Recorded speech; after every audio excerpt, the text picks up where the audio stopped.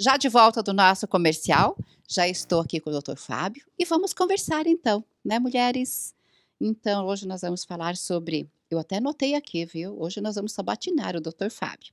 Infecção urinária e cistite, incontinência urinária, que é muitas pessoas, não só as mulheres, mas tem os homens também, né? A bexiga imperativa, cálculos renais, é, dores pélvicas e também prolapsos de órgãos pélvicos, útero caído. Eu achei bastante curioso aqui, anotei, falei assim, é hoje que eu pergunto. então já estamos aqui com o doutor. Boa noite, doutor. Boa noite, Amires, tudo bem? Eu bem, já estava com saudades. eu também estava com saudade, eu já estava já... Ansioso para vir. Ansioso, já estava Isso é bom. em ostracismo aí. ah, mas é tão bom, porque aqui você traz o teu conhecimento, né? O que você faz no dia a dia, né, doutor? Porque você não atende só em Moarama, não, né? Não, não. É, a gente acaba pegando também umas uh, pacientes de outros lugares e então acaba fazendo um pouco mais também fora, né? Agora nem tanto mais, mas tinha uma época que eu atendia mais fora da cidade, né? Quais são os municípios? Vamos falar quais, onde que você, ou se você está atendendo só em Morama hoje por motivo da pandemia, ou você está atendendo em outros municípios. Ele grava muitos vídeos também, acompanhe, viu? Eu gosto de acompanhar tudo isso. A gente pega, aqui em Moarama mesmo, é uma, como é uma cidade um pouco maior, uma cidade polo, então a gente pega muita gente da, da região, de muitos Sim. municípios da região. Sim, né? sim, sim. Então vem gente de muito lugar, inclusive Mato Grosso do Sul, né, que é próximo também. Então a gente tem Acaba atendendo muitas pessoas de muitas outros pessoas de lugares, municípios. lugares que você nem, acaba nem, às vezes não conhece direito ou só de ouvir falar. né? Aham. Mas é, isso é bem gratificante. A gente, Ah, com uma coisa que certeza. Bem importante para a nossa, nossa vida pessoal e, e, claro, profissional. E os vídeos? Você continua gravando os vídeos? Sim, sim. Semanalmente, praticamente, estamos lançando alguma coisa diferente no Instagram ou no Facebook. Qual que é o teu endereço do Instagram? Dr. Fábio Trostdorf, né? E é o mesmo do Facebook também. Pode procurar por lá, então, urologista. Vocês vão acompanhar vários vídeos, vocês vão se inteirando dos assuntos. E às vezes tem um assunto lá, fala assim, puxa vida, ele está falando um negócio aqui que eu tenho. Porque geralmente é assim, né, doutor? Sim. Tanto para as mulheres quanto para os homens, às vezes mais para os homens. Os vídeos são, são bastante importantes, né? Pela, pela falta, de, pelo pela quesito de serem educativos, né? Sim. Então a gente acaba explicando alguma coisa que às vezes passa batido né, no dia a dia das pessoas e às vezes a pessoa às vezes até se, se toca que tem um probleminha, mas não sabia, né? Mas é bem assim mesmo, né? E às vezes tem eh, sintomas, algo diferente no teu organismo que você não leva muito em consideração, né? Sim, E ou aqui- acha que acaba achando que é normal, tudo, Acha que é né? normal e aquilo vai se repetindo e vai indo, né? E vai indo, passa um dia, dois dias, três dias, dez dias e você com aquele probleminha e não procura o médico. E às vezes quando vai procurar o médico já, né?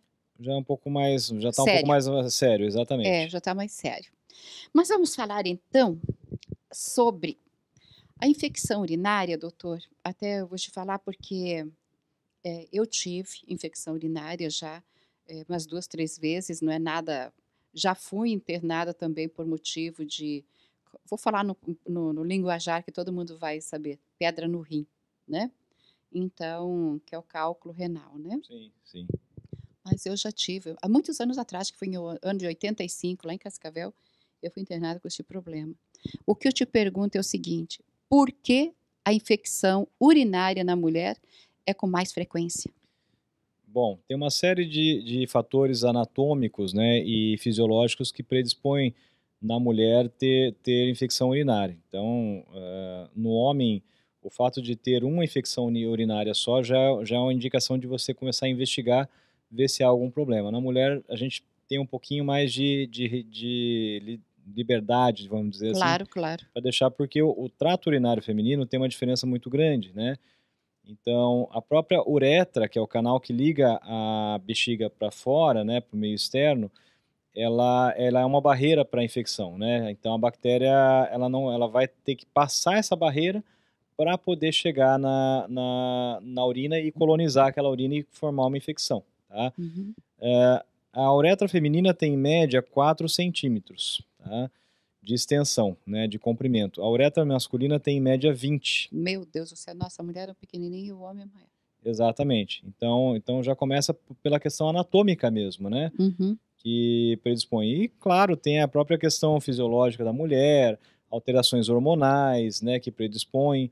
É, se tiver algum corrimento, alguma, alguma alteração de trato genital também, de, de, de região vaginal, que pode predispor também, então tem toda essa questão, né? O, no caso, no caso, o meio excretor, né, fecal, é muito próximo do trato genital feminino, e isso pode predispor também infecção. Por isso que os médicos geralmente falam assim, ah, quando vamos, vamos falar assim, o 1 um e o 2, o xixi e o cocô, tá bom? Então, 1 um e o 2. É, geralmente, os médicos, eu falo isso porque já tantos anos de trabalho, né? da gente, eles falam que quando você fizer o dois, o importante sempre é se lavar. Sim, sim, isso é, é bastante importante pelo fato de que a, a forma de você de, de, se limpar com o papel, às vezes ele pode proliferar limpa, mais bactérias. Como diz, você lambuza e espalha bactérias. Exatamente. É, já foge um pouquinho da minha área essa parte de, de, da parte proctológica, vamos dizer assim, né? De, de, de trato excretor né, fecal. Mas é, tem, tem essa questão também de, de evitar certas alterações no, no, no, caso de usar o papel higiênico, que ele pode predispor a lesões, sangramentos. Exatamente, é. Fora é. a questão de, de, dali da higiene que acaba não sendo muito adequada. Exatamente. Então, com um pouquinho de tempo aí, né? Tenha tempo para cuidar da sua saúde. Sempre que você fizer o dois, procura se lavar. É, muita gente fala assim que antigamente ainda tem, ainda tem, que tinha o vaso sanitário e também o bidê, o bidê com chuveirinho para que as mulheres, né, que se, é, foi feito aquilo lá para as mulheres, para que elas pudessem se lavar o meio mais prático. Hoje nós temos a, a duchinha higiênica. Hoje né? tem a duchinha, verdade. Então, modernizou, mas as mulheres gostavam mais porque fazia o banho de assento ali, tudo, né? Era tudo mais prático. Hoje não tem. Ou tem ainda, não sei. Né? Então, mas enfim, o importante é você fazer a sua higiene sempre. Doutor, tá, a infecção urinária é isso. A mulher, ela se infecta mais fácil por motivo da distância, né? De quando ela vai fazer o 2, então fica bem pertinho, né? É, da vagina ali, então é fácil, fácil as bactérias penetrarem e, e te causar um, uma infecção urinária severa às vezes, né? Sim, sim. Que pode levar a, a ficar hospitalizado. É, na, na Agora verdade... tem que prestar atenção também nisso, né? Sim. Porque diz que se a infecção urinária sobe para o rim, não sei. É porque assim, a, a, quando a bactéria ela coloniza só a, a bexiga, né, a urina que está bexiga, ela é chamada de cistite. Né? Então, uma cistite, normalmente, ela não vai disseminar essa bactéria para a corrente sanguínea. Sim. Tá? Ela vai ficar ali e vai causar incômodos locais. Sim. Tem que ser tratado também com antibiótico, mas normalmente vai dar incômodos locais. A partir do momento que ela, que ela ela consegue migrar para cima pelo ureter, através do ureter, para o rim, que aí se torna uma, uma infecção bem mais séria, né? Que a gente chama de uma pielonefrite, né? Isso. Quando ela atinge o rim. Porque aí ela tem uma chance muito grande de, de, de acabar passando, atravessando a, o córtex renal, indo para a corrente sanguínea que se transformar numa sepse, né? Uma infecção generalizada, vamos dizer assim. Nossa, o que eu, o que eu vi até hoje é, é grave, né, doutor? Não é, não é alguma coisinha simples. Não, não. Por isso que você é tem que prestar atenção sempre à sua infecção urinária. Então, normalmente a cistite não vai dar febre, ela, ela vai dar sintomas locais, aquela ardência. Na hora que ah, vai fazer o xixi, que dói no finalzinho. dói, que você aquela- fica se segurando. Eu tive, viu, gente? Eu tive umas três vezes. aquela urgência Bem de ter, que, de ter que ir rápido ao banheiro, porque aquela vontade imperativa de ir ao banheiro, então isso é, isso é básico da- de quem está com cistite e é, é basicamente isso que vai acontecer. A partir do momento que, ele, que ela invade, a bactéria invade o trato urinário superior, ou seja, o rim, aí começa a dar febre, sinal de toxemia, começa a vômitos, náuseas e, claro, né, se tiver uma sepse mais grave, pode ter umas conse- consequências maiores, né? Isso só trata com antibiótico, né? Antibiótico. Antibiótico e, em alguns casos, quando essa, esse problema urinário, quando essa pielonefrite estiver associado a algum tipo de obstrução ou de alteração de drenagem do trato urinário, aí tem que ser feito também algum tipo de procedimento cirúrgico para ajudar nesse ponto também, né? Ou se tiver, por exemplo, formar, fizer um abscesso, né? Uma, uma, uma digamos que uma, uma coleção de pus, né? Por conta de infecção, aí tem que ser drenado também. Hum. A gente, a, às vezes a gente acha que é tão simples uma certa situação, né? E não é tão simples assim, né, doutor? Sim, sim. Tem, você quer falar mais a respeito da, ainda da infecção urinária e cistite? Ou podemos entrar na continência urinária? Podemos continuar já, dá para dar segmento, mas cistite é uma coisa bem séria, só para relembrando, já que foi dado a, a deixa aqui, e, e, claro, né, tem que ser tratado, não pode ser menosprezado, porque isso pode se transformar em algo mais sério. Essa bactéria pode ascender para o trato urinário superior e, e, claro, causar problemas maiores. Então, não menosprezar, procurar atendimento sempre, porque tem que ser, esse problema tem que ser sanado ali. Né? Agora, é, já que nós estamos dentro desse assunto ainda, diz que eu, eu faço isso, né? Eu acho que é muito importante, é tomar bastante água. Isso ajuda bastante, isso é bem importante. Ajuda, né? Ajuda porque o, o fato de, da pessoa tomar bastante água vai predispor a ela a formar mais urina e ir mais vezes ao banheiro. Isso. Então, urina parada na bexiga é um meio de cultura propício para a bactéria proliferar. Aquele tipo, a mulher que fica ali segurando, né? Sim, exatamente. Segura, segura, segura, segura. Então, o fato dela ir mais vezes ao banheiro né? Não, vai, não vai tirar totalmente o risco, mas a, ajuda bastante, né? Ajuda bastante. Nesse ponto, né? Então você você está trocando toda hora uma urina que pode estar, contamina, estar contaminada por uma urina limpa, né? Verdade. Vamos dizer assim. Você é um médico que acredita em chás ou não? Depende muito da situação. Tá? É. A, gente, a gente acaba, claro, né? Existe uma, uma existe uma medicina tradicional que a gente acaba, acaba passando através de, de medicações tal. Mas assim, dependendo da alimentação, o tipo de chá, você pode usar como um complemento, né? Isso é importante às vezes. Ótimo. Então tá aí, gente. Porque o líquido é muito importante para você, porque não é só por, por motivo da infecção urinária, não. Água deve se tomar bastante. Eu sou, eu, eu tomo muita água. Até a minha mãe fala assim: filha, você toma muita água. Eu tomo, eu tomo bastante água. O ideal é que o ideal é que se forme por dia em torno de 2.500 a 3.000 ml de urina, tá? Isso é uma média, vai variar um pouco de indivíduo para indivíduo, com certeza, tá? Dá quantos litros? Vai dar 2 litros e meio a 3 litros, de 2 a 3 litros, vamos dizer assim. Uhum. Claro, tem pessoas que são menores, né? Então vão formar menos porque tem um organismo menor e outras que são maiores, tal mas é, a média é mais ou menos isso. Claro que se, se isso for no verão, que a gente perde muito líquido por transpiração, então você tem, tem que tomar um pouco mais do que isso para poder formar isso de urina, né, com essa quantidade. Uhum. Você tocou num assunto bem interessante. Gente, um dia eu liguei para o médico para saber disso. Eu tomo muita água, sou viciada em água.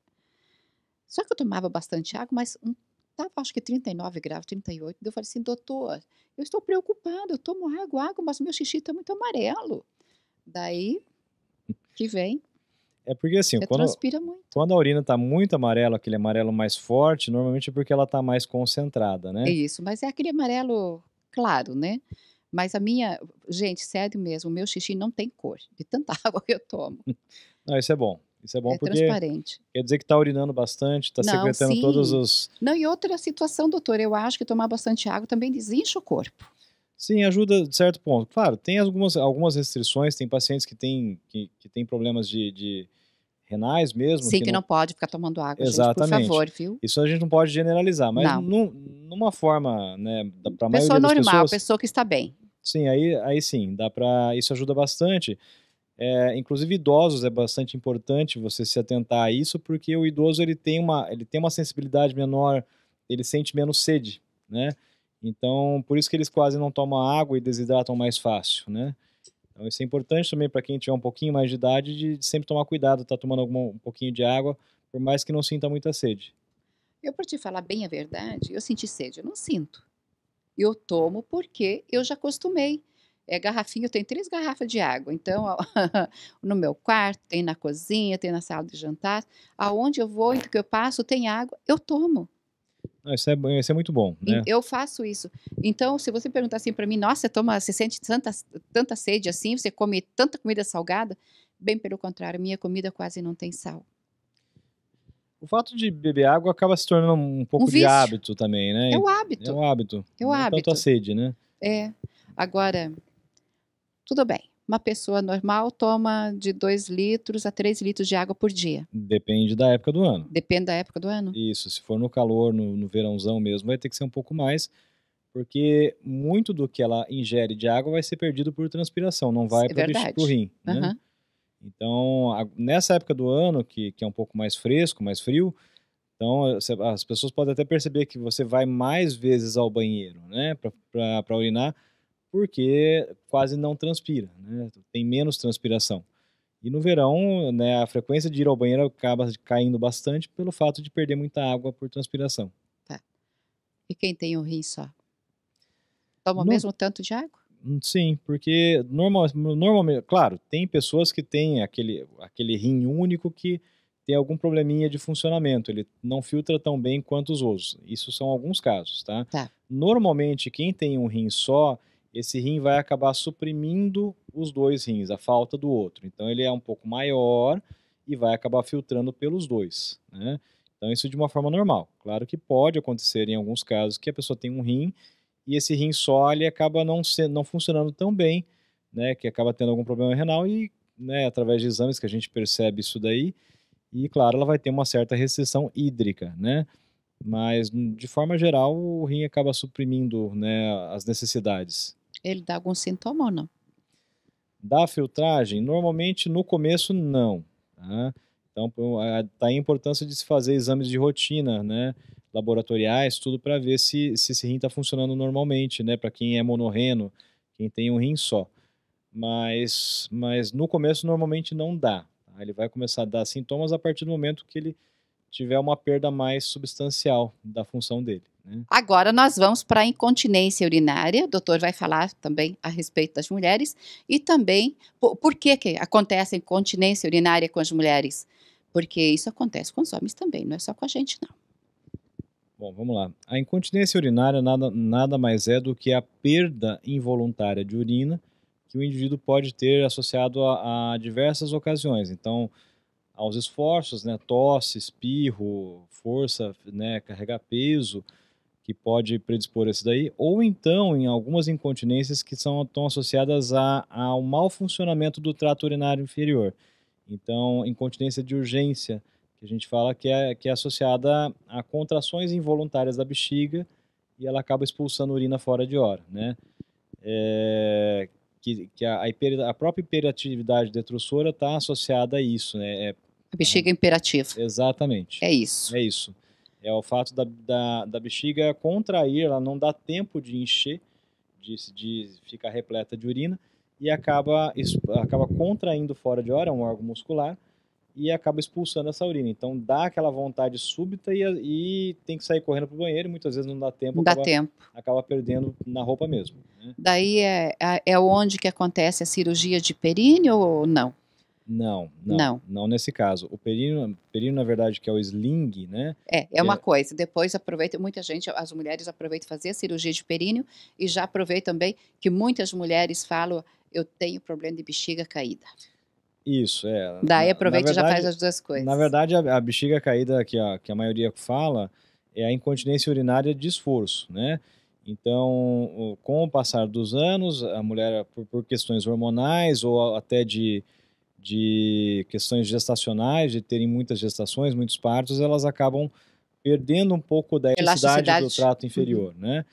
Então, todo aquele suporte que, que, que tem para a uretra, para o trato urinário inferior, acaba se perdendo e acaba predispondo a, a perda de urina. né? Então, aí a gente tem que colocar uma telinha, né, um, um pequeno aparato ali, Ah, para diminuir um pouco a, a mobilidade da uretra, para ela ficar mais no lugar e, e prevenir as perdas urinárias de esforço. Então, aquela perda por espirro, por tosse, Dá risada. exatamente, da risada. Isso acontece com os homens também? Com os o homens, homem é diferente? Não, os homens é diferente, porque os homens eles têm um, um aparato para segurar a urina um, um, pouco maior. Além de ter uma uretra maior, como já foi explicado anteriormente, uhum. eles, uh, o homem tem a próstata também, que também serve para segurar um pouco da urina. Ah, então é por isso. Então daí o homem já é mais fortinho. Agora, da, da bexiga imperativa, é, da, da, também da incontinência urinária, que a gente já praticamente falou das duas, cálculos renais. Por que, que se forma cálculo renal? Bom, cálculo renal, né, as pedras nos rins, eles são basicamente associados a, a pessoas que têm predisposição. Então, isso está muito ligado à hereditariedade. Você pode uhum. perguntar para a maioria dos pacientes que têm cálculo renal, que sempre tem algum, algum familiar, algum pai, mãe que teve pedra nos rins em alguma é época. Hereditário. É hereditário. A hereditariedade é muito forte. Tem alguns casos que não estão relacionados, mas a grande maioria tem relação com isso. Tá? Então, o cálculo urinário nada mais é do que, do que são sais que o próprio organismo secreta pelo rim, e quando ele está muito saturado, quando a urina satura demais desse tipo de sal, né, não sal de cozinha, mas sais, né, min alguns minérios, vamos dizer assim, uhum. É, quando ela está muito saturada, eles acabam se agregando como cálculos e vão se formando aos poucos, tá? É, e é, co é, como se você pegasse um, um, copo de água e começasse a jogar açúcar ou sal, né? Então ele vai diluindo aos poucos, né? A partir do momento que você coloca muito sal, ele começa a decantar embaixo. É o nosso organismo é a mesma forma. Se o, o, rim secreta muito de um tipo de minério, de sal, mineral, né, ou de alguma substância, ele vai acabar agregando né, na, no próprio trato urinário, formando cálculos.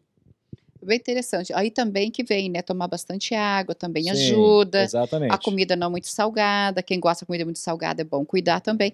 Porque eu vejo assim que às vezes a, a, a esposa lá faz o, a comidinha, faz o almoço, o jantar, é, ela coloca na mesa, daí o marido, traz o sal, mulher, traz o sal.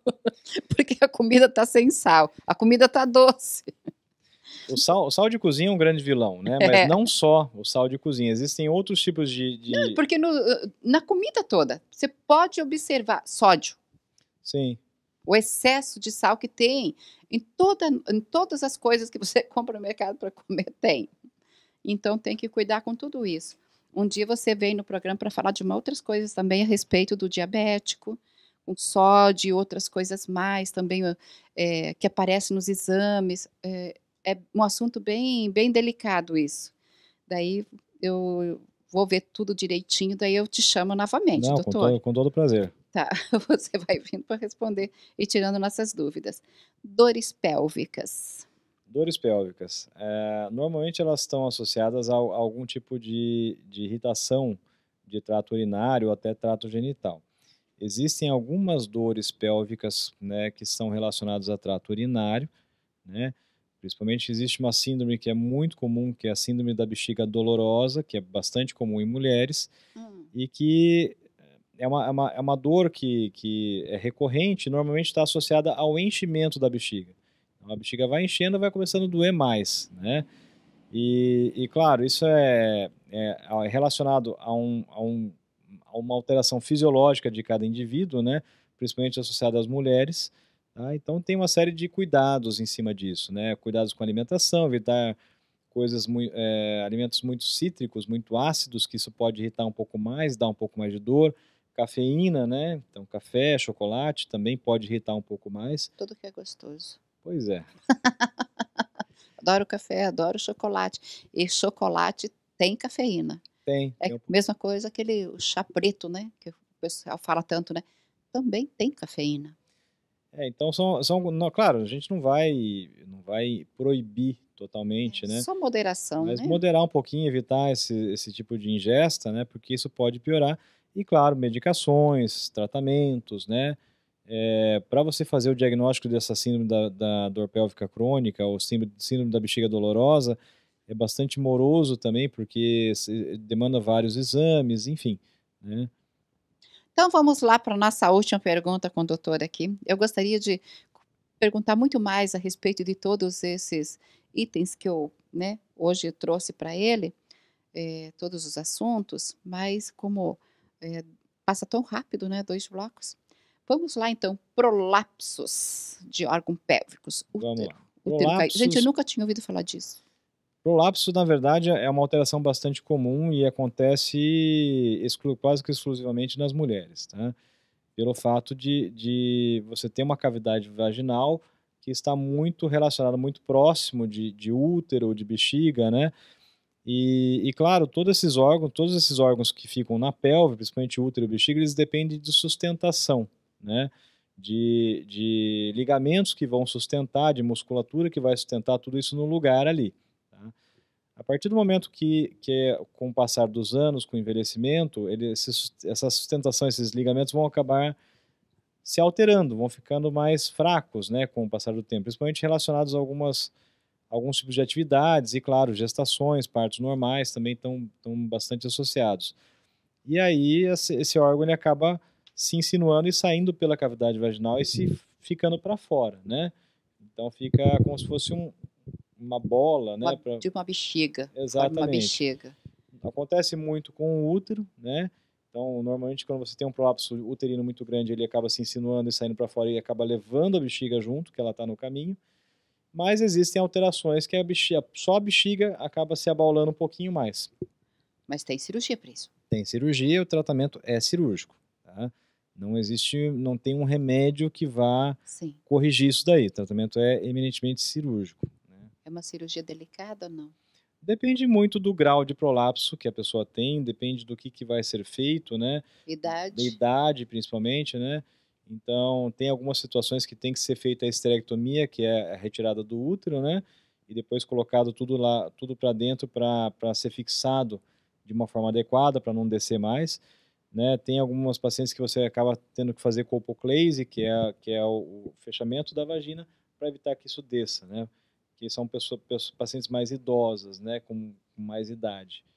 Né? E, ou então só, se for uma coisa, algo muito leve, é só a correção mesmo, o reforçamento dos ligamentos ou das, do que vai sustentar aquilo para poder ficar tudo no lugar. As mulheres têm, ah, mulheres mais jovens, né? Elas têm muito medo da retirada do útero, não é, doutor? Principalmente aquelas mulheres que ainda não formou sua família e que sonham ter, né, ter um filho, que é mais um filho, coisa assim. Tem muito medo, né? É, porque é aquela coisa, é, a- se, a, se a- se a pessoa não tem a prole definida, né? É, Hoje em dia você tem opções para burlar esse tipo de problema caso a mulher seja jovem e queira constituir uma prole ainda.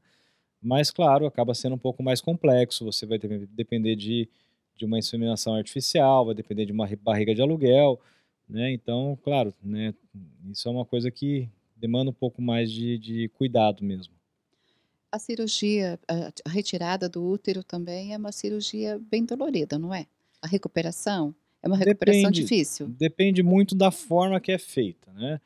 Então existem, existem, existe a, a esterectomia, que é o nome dessa cirurgia, por vídeo, videolaparoscopia, dá né? para fazer então, Dá para fazer por vídeo. que é dá menos sofrido daí. Exatamente, a recuperação mais rápida, né? É, existe a aberta tradicional, que é feita por abdomina, transabdominal, pelo abdômen, né? Por corte. E existe a transvaginal, que é feita por baixo, né? Pela própria cavidade va- vaginal, que também tem uma recuperação muito boa. tá? Uhum. Já foge um pouquinho da nossa área, né? Mas, Já entramos na ginecologia. exatamente, mas tem essas três opções. Poxa vida, que bom, né? Porque todas as mulheres, elas têm um pouco de receio de, da cirurgia, né? Da retirada do útero, porque é, assim, a mulher envelhece mais rápido, não sei o quê, por motivo do estrogênio, né? Coisa assim, né? E, mas, se aparece o problema, nós temos que dar um jeito, né, doutor? Sim, Qualidade de vida, você vai ficar sofrendo aí e tudo mais. Então, é bom cuidar, né? não, com certeza. Né?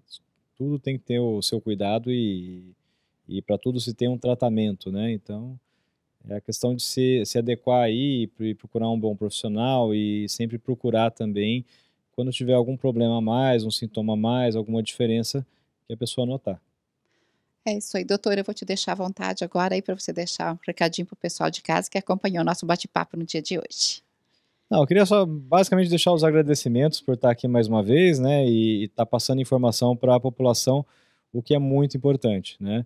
Então, é, eu espero que tenha sido né, bastante proveitoso para É todo mundo, né. gostoso. Com certeza, sim. E ter passado um pouco mais de orientação, de informação, que é a nossa função como profissional de saúde também. Que Jesus abençoe grandemente. Saúde e paz para todos. Para todos. Lembranças para a família. Obrigado. Eu vou para o comercial e na sequência nós temos a nossa culinária.